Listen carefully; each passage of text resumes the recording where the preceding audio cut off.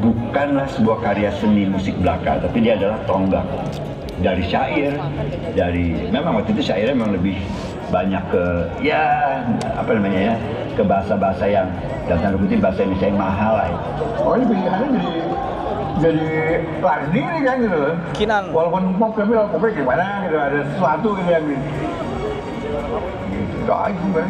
Mungkin itu ya itu yang bikin jadi kebetulan ya masuk ke kan itu kan ya, di di publik gitu kan.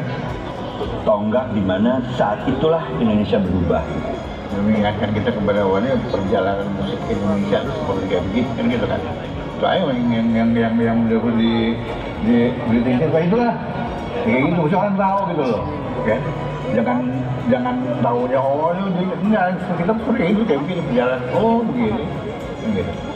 Paling tidak di situ industri musik mulai punya alasan untuk percaya kepada genre musik yang lain selain musik pop yang sudah ada.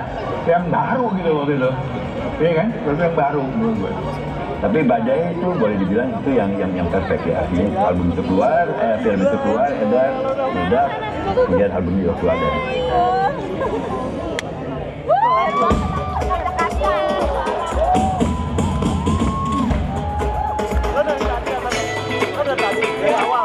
ปกติเราเพื่